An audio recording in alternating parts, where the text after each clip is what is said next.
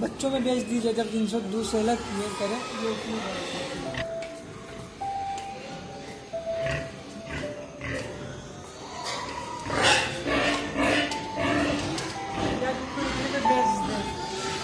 यार इनको इतने पे बेच दे इतने पे। ये जो है इतना बड़ा चार हज़ार का बिकता है इतना बड़ा। इतने बड़े होने में नहीं